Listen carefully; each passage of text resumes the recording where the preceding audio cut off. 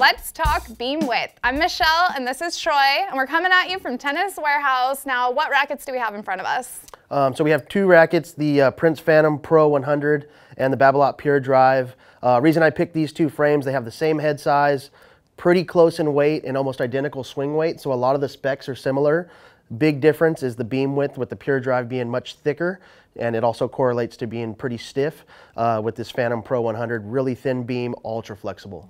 Now, I like to gravitate towards those thicker beams, so I can tell you guys why I like that. My game is centered around a powerful game, so I really prefer that stiffer feeling racket. I find I can get easy power generated with a thicker beam. I'm actually more of a power player than a control player, so I don't really require the touch, the feel, the control that the thinner beams offer. Um, the one downside that we can talk about with these thicker beams is sometimes they are stiff, as we mentioned, and they can cause arm discomfort. But maybe you can give us some insight on why a thin beam might be a good option. Yeah, so as she mentioned, the thick beam typically means they're stiff. Not always the case, but usually so. Uh, with the thin beam, most of the time they're really, really flexible frames. This one's extremely flexible. I believe the RA is around 55, so ultra flexible, uh, really plush on contact, um, really smooth feel uh, when you make contact.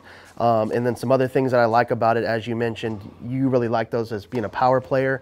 Um, for me, I still find that I can generate decent power with a thin beam, uh, given the weight and balance and all that. But uh, the thin beam really gives me a lot of ball feel, a lot of response uh, when coming to net or kind of using a, a, crafty type of game, drop shots or that type of thing. I really feel like I, am connected to the ball with a thin beam. So uh, lots of comfort here. Um, and I think just the, the responsiveness and the fact that um, typically the thinner beams are more dense with graphite, it just uh, responds the way I like it.